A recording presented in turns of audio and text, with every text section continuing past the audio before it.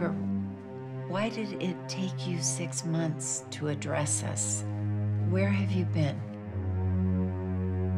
It seems to me that I, I invited you here to my home. We only received that invitation after the suicide toll had rapidly reached a million.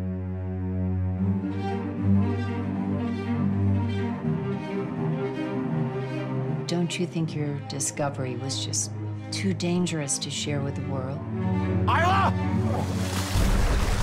Isla!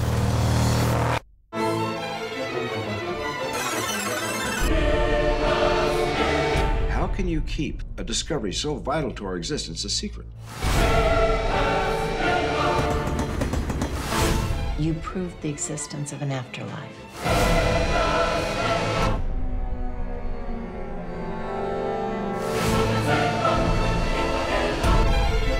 I prefer to call it a new plane of existence.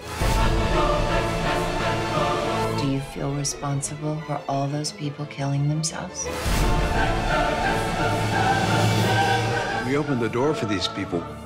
Now we have to show them what's behind it.